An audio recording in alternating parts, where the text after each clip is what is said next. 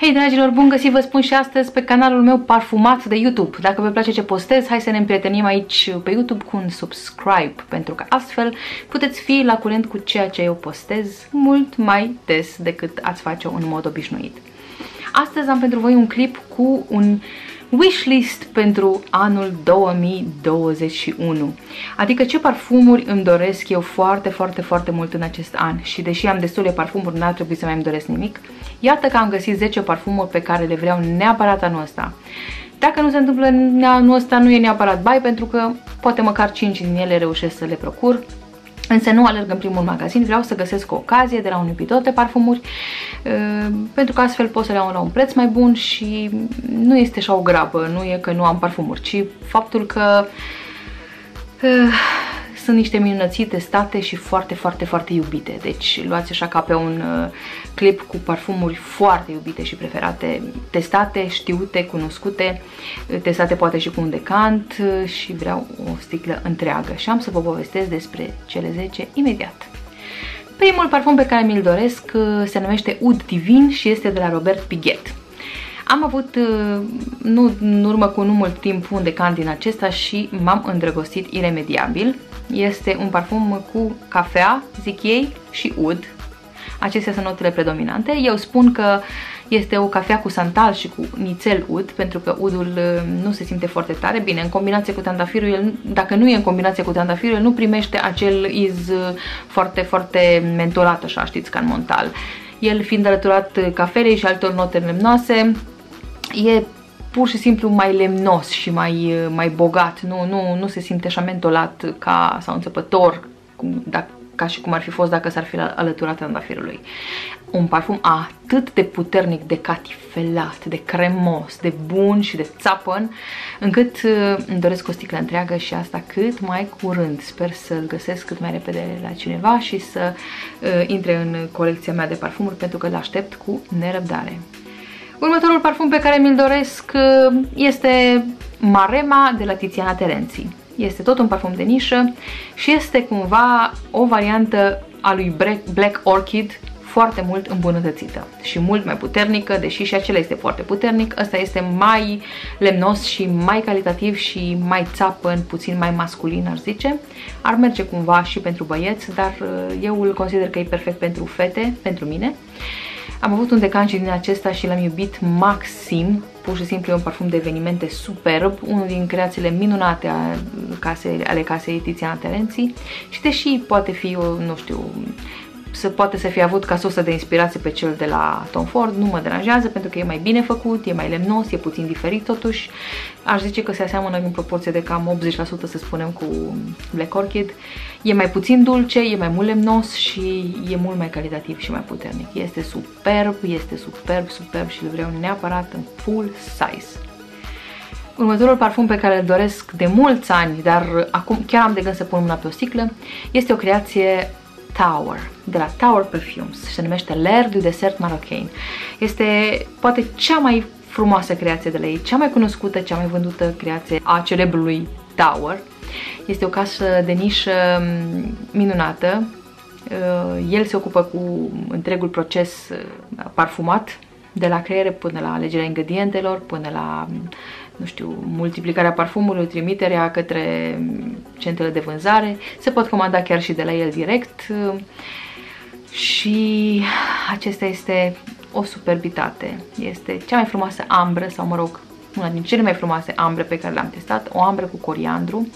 Apropo, coriandru mie îmi place foarte mult în combinație cu alte, în parfumuri în general îmi place foarte mult coriandru. Da este ambra perfectă. Este mai mult la granița dintre masculin și feminin, poate ar bate chiar puțin în masculin, însă în ultimul timp îmi plac foarte mult parfumurile cu ambră și el este creat în stilul casei, adică foarte țapăn, foarte puternic, chiar, nu știu, te simți parfumat bine și ingrediente calitative, minunate. Are Tower ăsta așa un stil, îi simt sănătura casei pur și simplu, are așa un stil pe lângă ingredientele pe care le pune, e și un iz așa ca pământos, nu știu, ca de pământ umed, așa, adaugă așa un, un, o notă personală, un touch personal. Mie îmi place maxim, maxim, maxim și eu îl recomand foarte mult și dacă nu-l găsesc niciunde, chiar dau o comandă la Tower și mi-l procur de acolo pentru că am așteptat deja prea mulți ani de când îl vreau și mereu vin alte parfumuri care nu erau pe wishlist și astfel nu ajung să mă bucur de ceea ce îmi doresc și nu apuc să, să achiziționez ce îmi doresc, că mereu intră alte parfumuri și nu mai lasă loc celorlalte. Deci un must-have pentru cei ce iubesc Ambra. Următorul parfum pe care îl doresc cu ardoare, iarăși de câțiva ani, este tot de la Tower, cum altfel. Se numește Sotto la Luna Gardenia și este cea mai frumoasă gardenie cremoasă pe care am întâlnit-o. Am mai întâlnit uh, la Nicutal gardenii apoase, am întâlnit altfel de gardenii cremoase pe la alte case, pe la Amoaj și foarte, foarte multe alte gardenii pe care le-am testat. Însă, o gardenie precum aceasta nu am mai întâlnit. Este o gardenie aproape gurmandă, aș zice, învăluită în tonka și în vanilie foarte multe și pe lângă acestea are un iz așa ușor sărat. Este un, nu știu, ca și cum ar fi o gardenie cu caramel, de fapt, aș zice. Nu văd caramelul listat acolo. Dar e o gardenie cu un iz ușor sărat, foarte specială o gardenie foarte puternică, foarte lăptoasă, ca și cum te afli în mijlocul florii, petale, petale de flori și uh, lăptoasă ceva și, și, și grandioasă, pur și simplu. Iar izul sărat o face să fie, nu știu, deosebită de tot ce am mai testat. Nu știu, e un parfum pe care îl aștept cu drag în, în garderobă, atât de bine făcut și de minunat, dar ăsta nu e de luat netestat totuși. Dacă lertul de ser marocain îl recomand băieților netestat și fetelor, dar mai mult băieților, ăsta este pentru femei și nu-l recomand netestat. S-ar putea să nu vă placă, s-ar putea să nu vă placă stilul casei, eu îl ador, pur și simplu.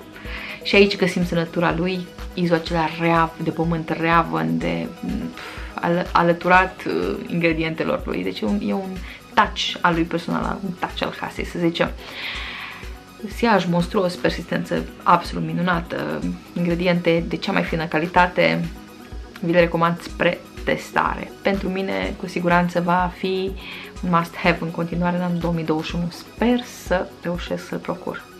Un alt parfum pe care îl aștept cu nerăbdare în colecția mea este un amoaj, se numește Lyric Woman și deși l-am testat uh, acum câțiva ani și am avut și un decant, uh, încă mi-a rămas înfipt în memorie, pentru că este un trandafir extraordinar de complex. De fapt, probabil cel mai complex trandafir pe care eu l-am uh, amușinat. Și nu este un soliflor, este un trandafir oriental, în adevăratul sens al cuvântului, un trandafir cu tămâie, un trandafir cu, cu note orientale, bogat, un trandafir cumva catifelat, aș zice, cremos, cumva pufos, nu e chiar cremos, e mai mult pufos și foarte, foarte, foarte bogat. Un parfum de toamnă sau un parfum de seară, de ținute speciale.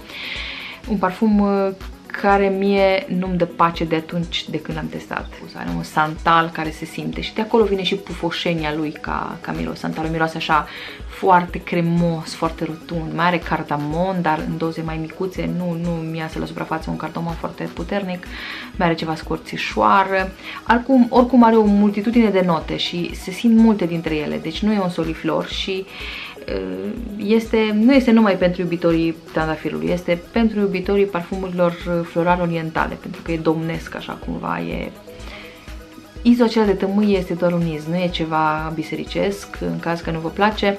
Oricum, mie îmi place la maxim. Îl aștept în colecția mea anul ăsta, sper. O altă superbitate pe care o aștept de niște ani de zile, am avut el și un decant acum vreo 4 ani sau 5 și mi-a rămas gândul la el și încă va rămâne mult timp dacă nu îl voi achiziționa. Se numește Back to Black și este de la casa Kilian.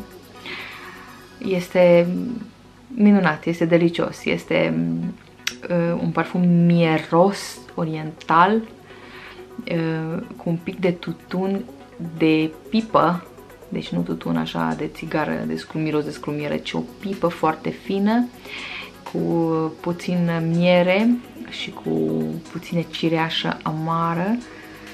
O combinație fatală pentru mine, un parfum care îți dă fiori, uh, un parfum destul de scump și de asta nici nu alerg neapărat acum să-l iau, doar dacă voi găsi o ocazie, cu siguranță voi pune mâna pe el. Uh, chiar și un parțial nu m-ar deranja, nu caut neapărat o sticlă întreagă.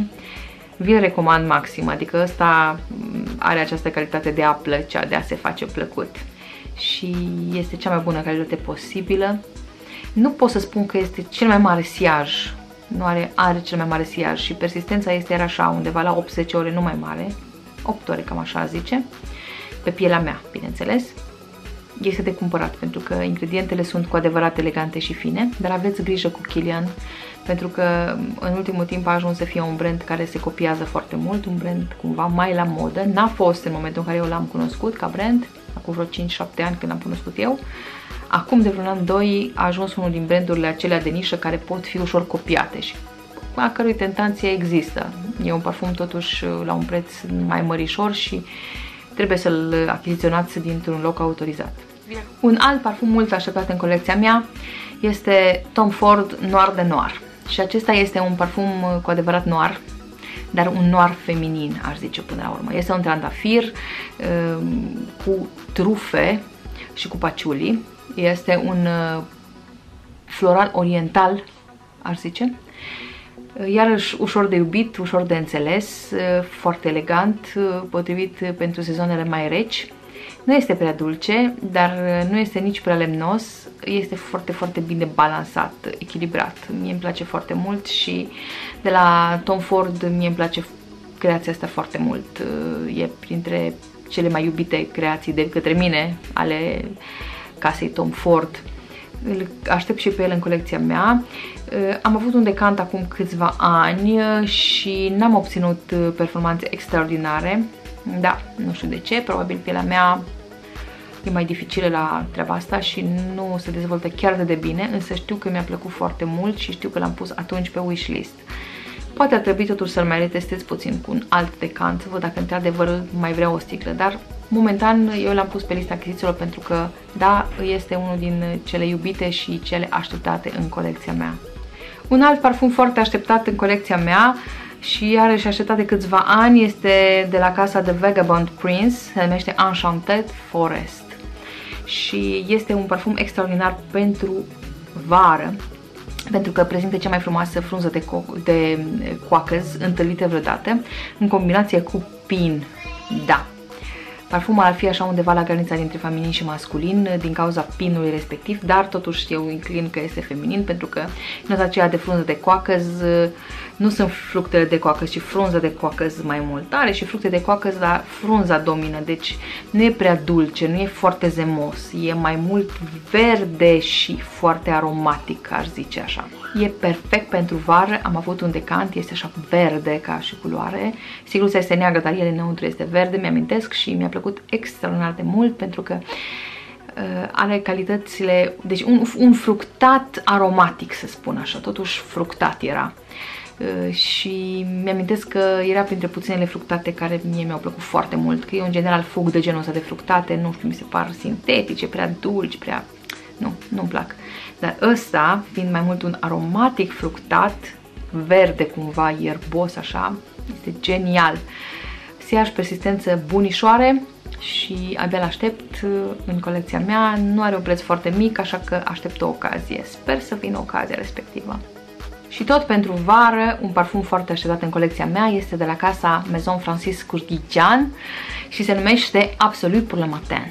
Pentru femei, cred că e unisex el, dar e pentru femei din punctul meu de vedere. Este un citric pudrat absolut minunat.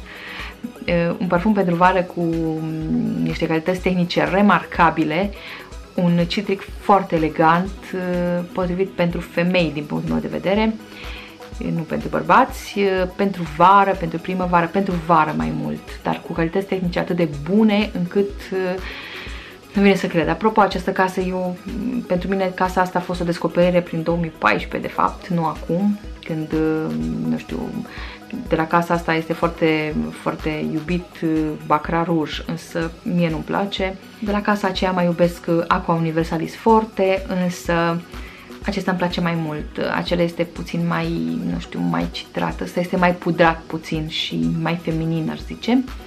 Oricum, ă, astea sunt cele două parfumuri care mie îmi plac de la această casă și nu Baccarat Rouge, care este pe val acum. Vi recomand cu drag chiar și pe netestate, dar să știți că are un preț destul de mare, așa că nu știu dacă e de avântat neapărat, însă dacă faceți sos de un decant, e unul din parfumurile superbe pentru vară. N-are cum să nu placă, e iubibil și foarte ușor de înțeles. Abia l-aștept.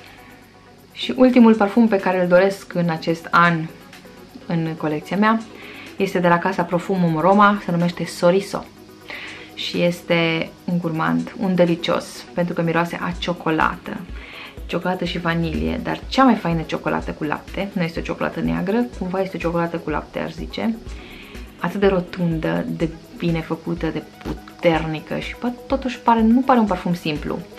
E mm, ușor oriental, ușor lemnos, dar foarte ciocolătos din toate punctele de vedere. Și așa cum uh, casa asta ne obișnuiește, parfumul Roma este foarte puternic, deci dacă vreți parfumul puternic, e una din casele foarte țapene asta, parfumul Roma, cu parfumuri foarte dulci în general, face parfumuri gurmande, cu tot felul de vanilii, cu tot felul de vanilii condimentate în diverse moduri. Și uite care această ciocolată numită Soriso, care mie îmi place foarte mult și pe care o aștept neapărat în colecția mea. E superb, e de neratat, vă spun. E de luat blind, atât de bun e și atât de sigur e de cumpărat. Dragii mei, acesta a fost uh, scurta mea listă cu dorințe pentru 2021. 10 parfumuri mult așteptate, iubite, cunoscute, testate și răstestate și dorite de ceva timp. Deci unele așteaptă să fie luate de ani de zile. Dar am să mă ocup de asta și am să zic pas altor parfumuri care îmi vor apărea în cale, dar care nu se găsesc pe lista de dorințe, ceea ce vă îndemn să faceți și pe voi să cumpărați parfumurile pe care le iubiți în primul rând și apoi ocaziile care vin cu alte parfumuri, pentru că altfel veți alege cu o colecție foarte mare iar parfumurile foarte iubite vor rămâne în așteptare în continuare. Sper că v-a plăcut clipul meu. Până data viitoare, când ne vom întâlni într-un alt clip, vă las și vă pup cu drag. Pa, pa!